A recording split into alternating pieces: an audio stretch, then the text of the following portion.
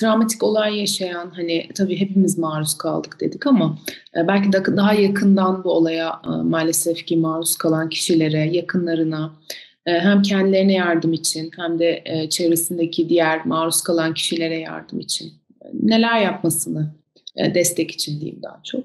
E, neler önerirsiniz? Travmatik olayın herhalde en önemli özelliği insan zihninin bu olayı işleyememesi, kavrayamaması ya da sindirememesi gibidir. Biraz sindirime de benzetmek gerekir. Ağzıma aldığım bir lokmayı çiğneyerek sindirmem gerekiyor. Ama travmatik olay ağza alınan kocaman bir lokma gibidir. Orayı çiğnemek çok kolay değildir. Zihin de bu çiğneme işini dertleşerek, ağlayarak, birbirinin sırtını sıvazlayarak yapar. O yüzden de bu tür kanalları mutlaka açmak gerekiyor. Bunlar toplumsal destek sistemleridir. Yasta da çok işler. Bas sağlığı ziyaretleri, mevlütler, ağıtlar. Mutlaka bir faydası var ki günümüze kadar geldiler.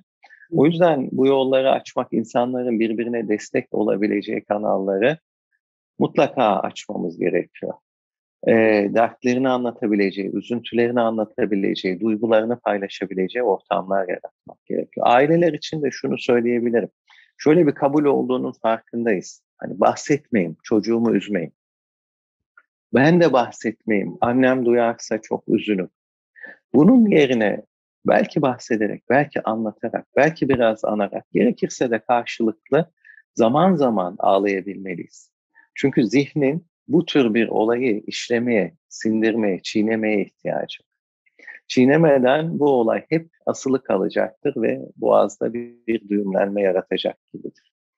O yüzden en önemli kaynağımız bence birbirimizle kurduğumuz işbirliği ve destek sistemi. Bizim de psikososyalciler olarak bu destek sisteminin bir parçası olmamız gerekiyor.